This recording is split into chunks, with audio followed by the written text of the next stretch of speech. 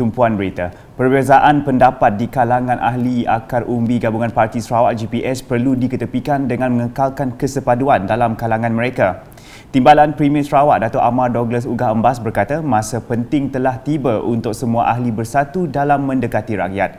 Menurutnya, misi keluarga GPS adalah sama untuk memenangi semua tiup satu kerusi parlimen di Sarawak dalam pilihan raya umum PRU ke-15.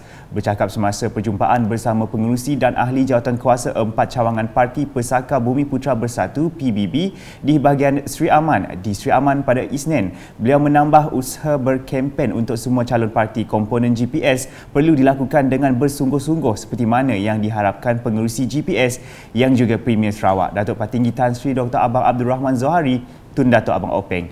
Datuk Amar Douglas yang juga pengarah operasi pilihan PRU 15 GPS berkata, Premier Sarawak telah terbukti sebagai seorang pemimpin yang berwawasan dalam memikirkan cara untuk menjana dan menambah pendapatan negeri. Sementara itu, Datuk Amar Douglas Ugah menyeru semua jentera GPS di seluruh negeri untuk menggerakkan jentera masing-masing.